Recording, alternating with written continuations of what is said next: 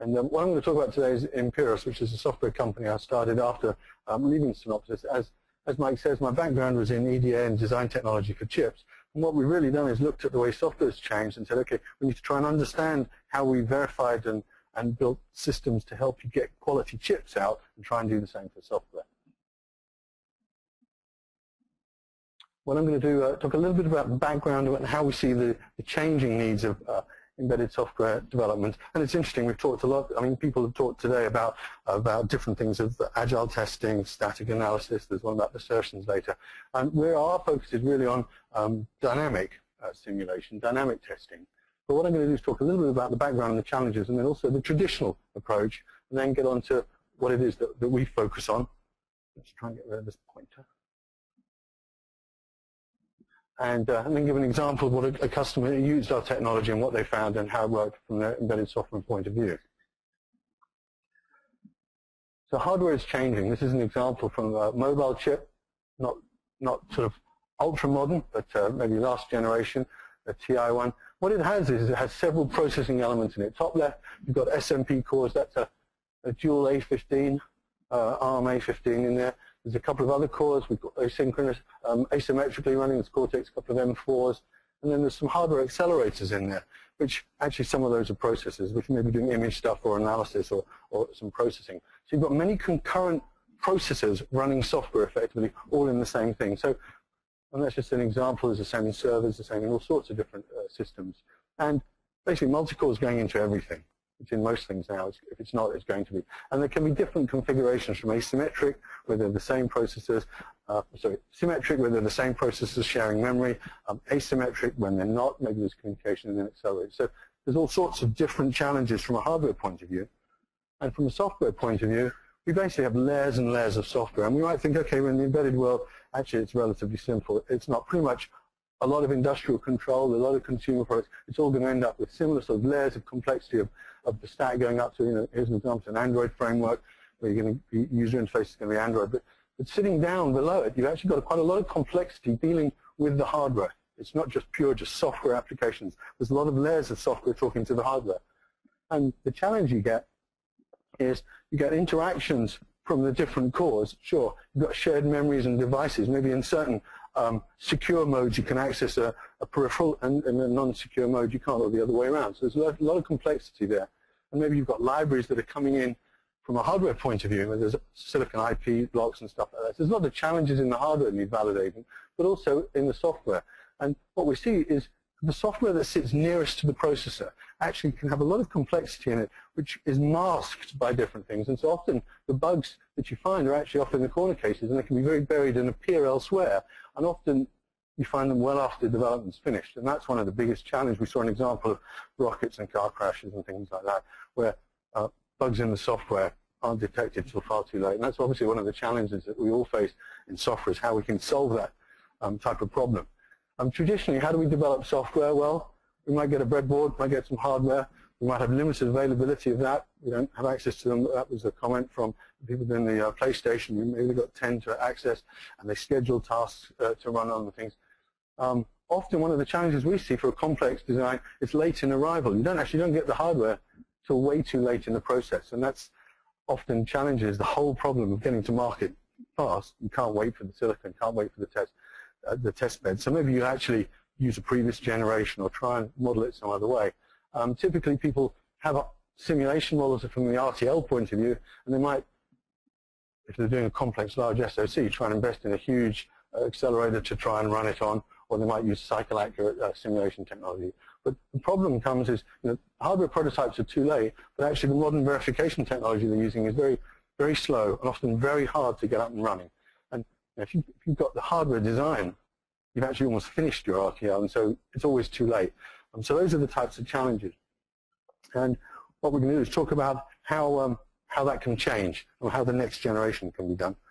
Um, what we focus on is what's called virtual platforms. It's really simulation. No one builds a chip without simulating it anymore, and we believe that nobody should be building embedded software without simulating it. Um, and it, there are lots of challenges in building simulation technology and making it available early, and I'm going to talk a little bit about those.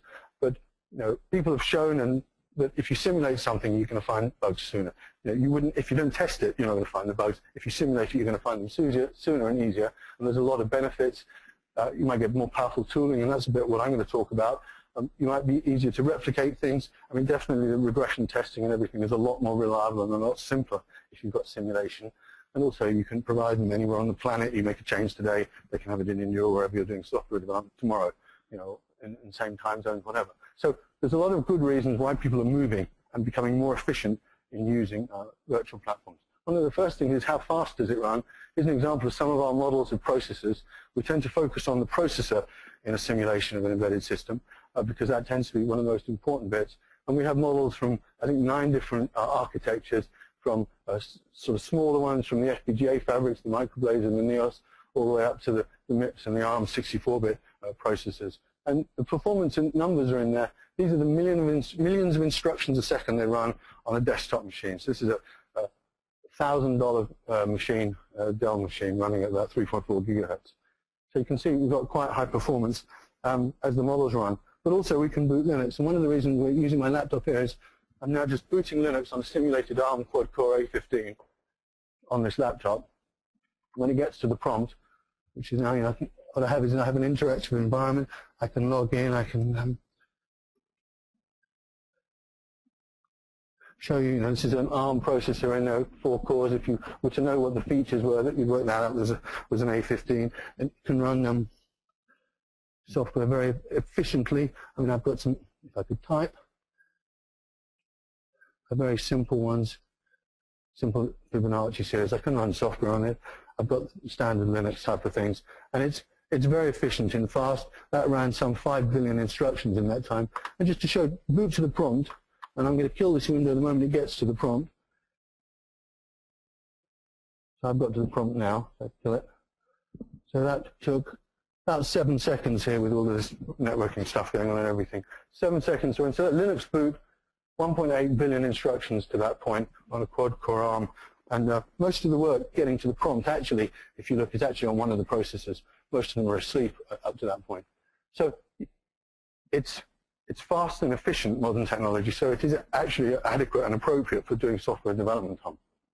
So that's just an example of that one. But actually, one of the challenges comes is when a, a, you've got a design here where you've got multiple cores in your target. You're running on a, an embedded MIPS or something with maybe four cores, six cores, or you know, ARM processors. And obviously that's going to slow things down when you simulate it. And here's an example. This is a quad-core ARM 57 that's running, and you can see at the top, I have a, it's a two-core machine, but actually being Intel, it thinks it's got two hyperthreads as well. We tend to only run on two of them, but um, shows you the, the, the, performance of it. If I just do that again to show the running on a when it start didn't hit the button.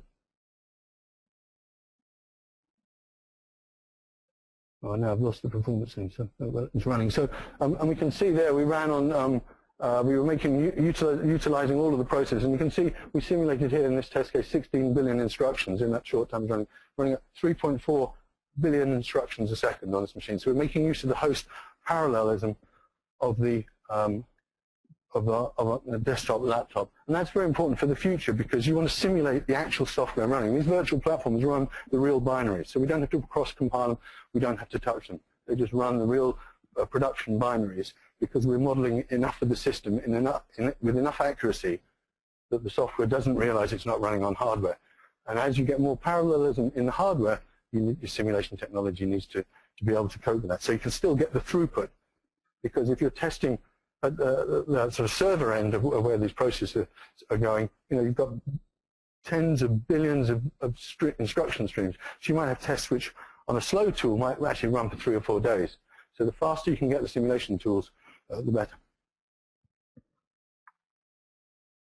Um, key thing, faster the test, the more tests run, more bugs get found, better quality, the less time. This is very much a dynamic approach rather than a formal static approach that we saw. Um,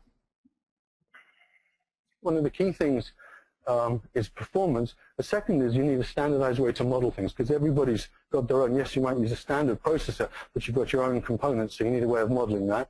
Um, and other things are the way that the tools interact with the simulator. Simulating is, is, necessary, but it's actually not sufficient. So we've built a lot of technology and models. We've uh, put a lot of it in open source in something called Open Virtual Platforms, ovpworld.org, and there's some 200 um, uh, models out there. About 100 of those are CPU variants, which you saw at the chart earlier. But one of the key things is it, it, we provide an API, magic, we provide an API which allows you to model your own platform. So you, you, we provide lots of platforms for different ARM and MIPS processors, but you can add your own components to them. And we hook to standard debuggers and things like that and provide a simulator. So that's a base.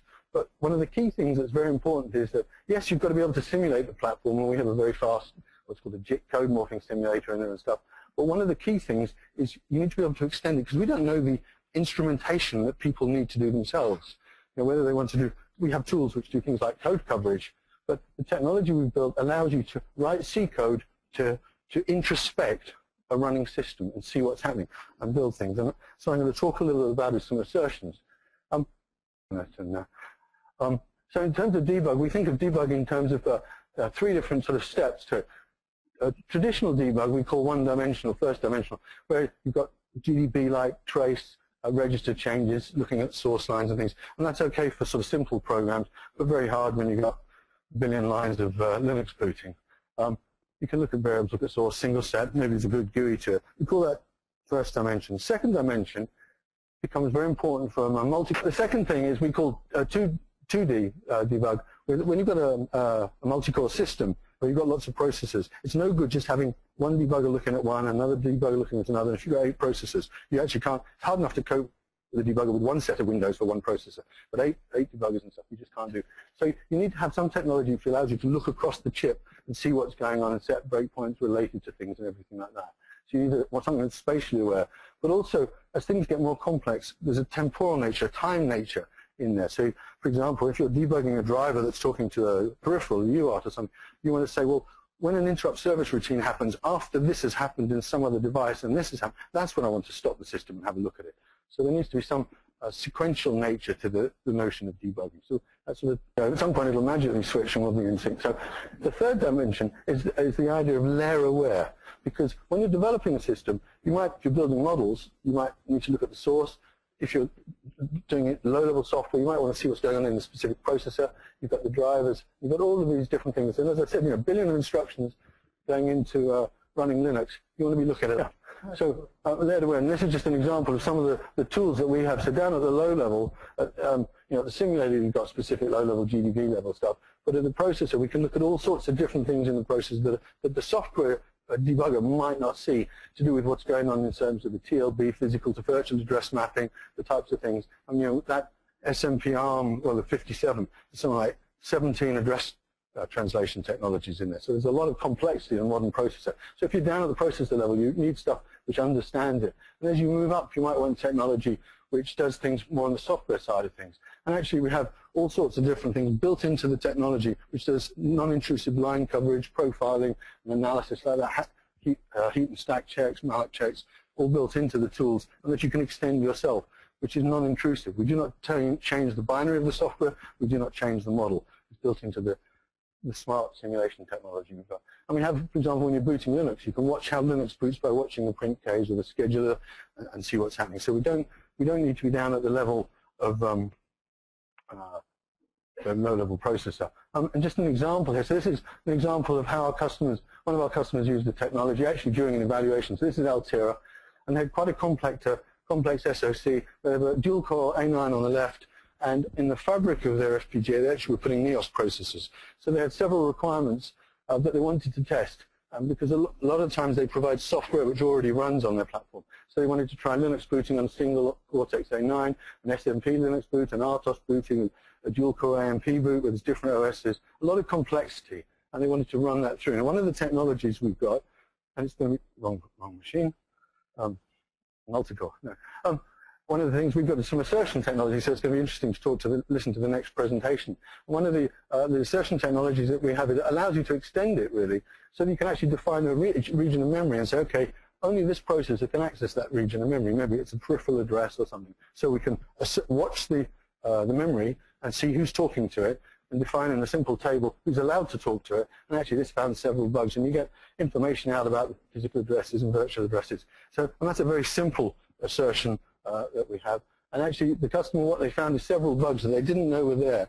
They were already shipping this, their customers were using it, so they had bugs in, in the standard Linux, they had bugs in this RTOS, they had bugs when they had the AMP thing. So this is systems that they thought were up and running and working, but there was latent problems in it. And sort of worrying, we don't, you don't know when you're done, but more verification technology you can put in, the faster you can do verification, the more bugs you're likely to find, which is obviously the goal in a lot of this. So I think the key message I have is that simulation is necessary for the next generation of embedded software, but it's not sufficient. And the faster the simulator is, the corollary is, the, simula the faster the simulation is, the better uh, it is because you're going to find more, uh, more bugs.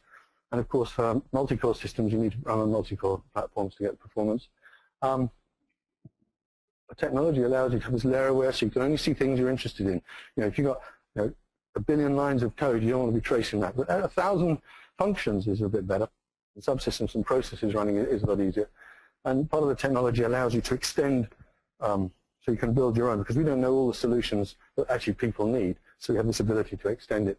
Um, so conclusion, I think, is it's inevitable that simulation is going to form a key part of the next generation of software development methodology. It's interesting. I thought that about 10 years ago and uh, set up companies do it. Five years ago we reached. But actually it's beginning to start now with, with most processor vendors provide a software environment, but more and more most complex chips are now coming with a software development environment. But having just a simple simulator and a debugger isn't enough. There needs to be much more complexity to it.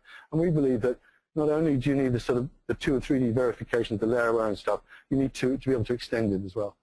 Um, and to find the most complex bugs, you need to be able to add your own technology to find it in the specific you know, market segment that you're in.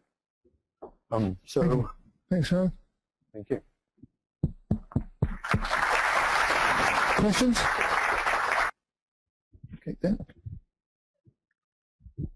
So how do you handle, you know, modeling of complex peripherals and buses and all that kind of thing in this, yeah. this kind of environment? Yeah, so the question of modeling is a, a very difficult one. I mean, there's two areas. to it. One is, three areas probably. One is how accurate you make the model and how you verify it and whether the, the, the tests are even available for it. So our approach is that we provide the infrastructure to allow people to model the, the stuff themselves.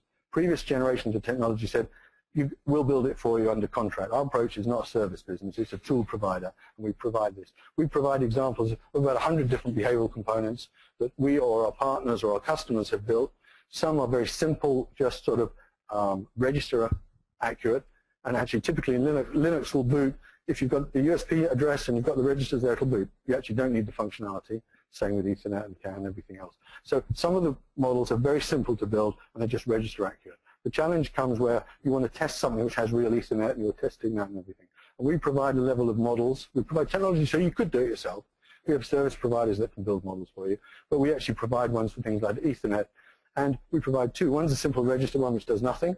Another one which actually talks to the real hardware so that you can actually, sitting in your simulated uh, running on an ARM or web browser, go to the Ethernet, talk to the real Ethernet, talk to other boards, or talk to the web, whatever. So the modeling technology, we provide modeling technology, we provide example models from simplest to quite complex, and allow you to do them yourself. But it is one of the challenges. How do I get a model of my piece of IP?